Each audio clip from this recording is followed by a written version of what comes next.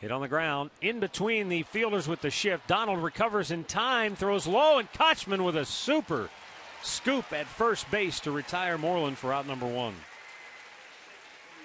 That was a nice play on both ends. Donald to, to stop that ball and get rid of it from his knees, and Kotchman with the pick to keep the foot on the base. Because the umpire took a long look. That ball almost got away from Jason. He gets up, throws it from his knees, and a nice pick by Kotchman. Look at that. Right out. Keep the foot on the base, and they get the out, which is a big out.